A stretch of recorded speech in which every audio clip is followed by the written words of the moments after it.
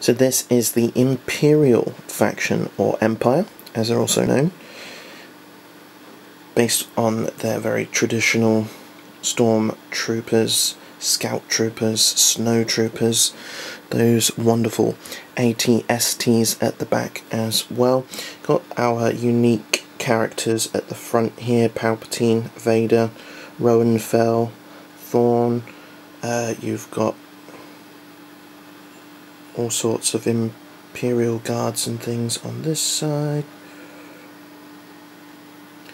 Your main stormtrooper units in the middle, snow troopers over on the other side, scout troopers here as well, the probe droid at the back there.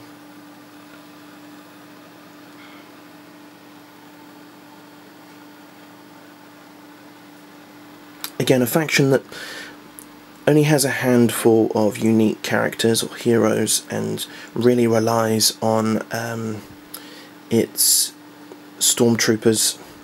You've got another, you've got an E-Web blaster there in the middle, which is very, very strong. But yeah, really, really relies on um, those uh, ATSTs actual base core units of the stormtroopers are pretty weak. Um,